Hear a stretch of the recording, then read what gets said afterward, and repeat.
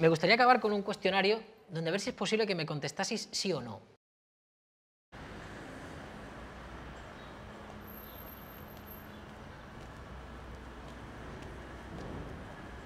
Me gustaría acabar con un cuestionario donde a ver si es posible que me contestaseis sí o no. Sé que esto a veces es complicado, pero vamos a intentarlo. Claro. ¿Vale? Si llegáis al gobierno, ¿derogaréis la ley Mordaza? Sí. La mayoría de artículos sí. ¿Cerraréis los CIES, los centros de internamiento de extranjeros? Sí. Yo garantizaré que se respeten los derechos humanos, que hoy en muchos de ellos no se respetan. ¿Pagaréis indemnizaciones a Florentino Pérez por el caso Castor? Salvo que me obligue la ley, no. Tres cuartas partes de lo mismo. ¿Pagaréis las ayudas a los dependientes que están retrasadas? Es un derecho, está en la ley y hay que pagarlas. Estamos obligados a hacerlo. ¿La Iglesia pagará el IBI? Vamos, que si lo pagarán. La Iglesia, los partidos políticos, los sindicatos y la patronal, todos. ¿Mantendréis el concierto vasco? Yo creo que no, que hay que incorporar un modelo federal y un modelo europeo. Hay que una hacienda común española y una hacienda común europea. Yo creo que tiene que existir un concierto, pero quizás se pueda resi- revisar el actual. ¿Financiaréis escuelas que segreguen por sexo? No, respeto que la gente los lleve, pero es una, una escuela privada, pero la, la escuela concertada pública tiene que seguir la, la igualdad que, que marca la- el Ministerio. Como esto sigue así, nos presentamos juntos a las elecciones. Entonces, Evidentemente no. ¿cerraréis el Senado? Mm, El 7 de noviembre haremos nuestra propuesta institucional y lo sabrás. Oh, esto es lo que... Esto me da una rabia que hagáis esto. Ya, o sea, que, que- que vayáis a... a- No, bueno, yo... o sea, hombre, que tú ya lo yo- sepas y no se lo digas a los no, ciudadanos. me da mucha rabia, claramente. tío. Yo tenemos un grupo de expertos trabajando hace meses para este y muchos otros temas. Entonces, Ya. como no está cerrado el documento y el programa electoral se presenta entonces, yo te digo, vamos a cambiar el modelo institucional de España. Pero no me dices si lo cerraréis o no. Bueno, porque lo quiero explicar el 7 de noviembre con los expertos que lo van a presentar. Pablo. Inspirándonos en el modelo del Bundesrat alemán, apostaremos por transformar el Senado en una verdadera Cámara de Representación Territorial. ¿Prohibiréis el toro de la Vega? Por supuesto que sí.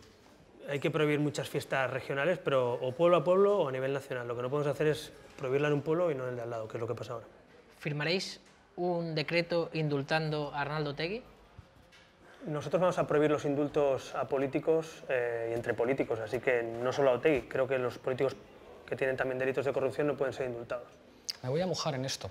Yo creo, y en esto es una de las pocas cosas en las que coincido con Felipe González, que Arnaldo Tegui no debería estar en la cárcel. Ahora bien, el indulto no está para utilizarlo con fines políticos. ¿Acercaríais a los presos de ETA a Euskadi? Yo creo que tienen que cumplir las sentencias que están a justicia, no venganza. Sea, Que cumplan las sentencias donde están y con la ley actual. Por tanto, no acercamiento. Las sentencias que quedan por cumplir, no.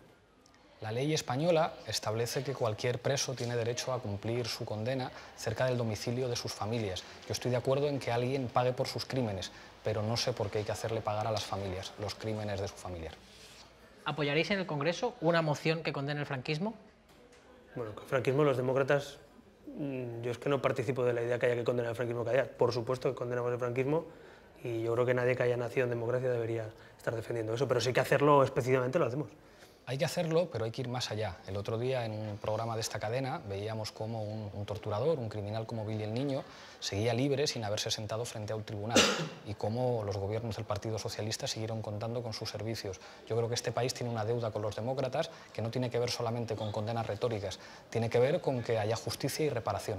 Pablo, dijiste antes de las elecciones catalanas que estas elecciones iban a marcar la parrilla de salida de cara a las elecciones generales. Visto los resultados, podríamos decir que Ciudadanos está en la pole position y Podemos es un poco el coche de Fernando Alonso. Es así. Yo creo que en este caso me identifico más con Ayrton Senna, que ganó muchas carreras saliendo en la, posición 3.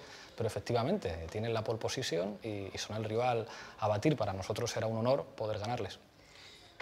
Bueno, yo más humilde, partimos de cero, ¿eh? partido a partido, que diría el Cholo Simeone, pero este partido es importante y soy consciente que la expectativa eh, es que hay partido, que no, esto no va a dos, que esto va a tres o a cuatro como mínimo, y creo que eso es una buena noticia para España.